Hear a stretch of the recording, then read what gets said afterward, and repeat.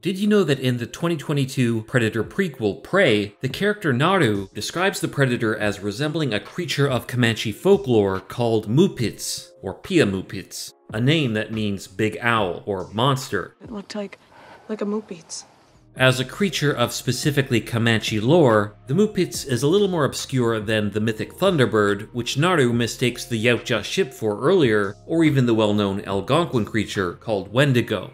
The Mupits is described as an ugly, hairy giant that roams the land with a cottonwood tree as a walking stick, searching for children to capture and eat. In fact, the Mupits' purpose among the Comanche is similar to the modern concept of the boogeyman, meaning it's a story intended to frighten children into good behavior. This is why Wasape scoffs at Naru's claim and refers to the monster as from a children's story. You saw a monster from a children's story? Unfortunately, he would soon discover that this Mupits is no story.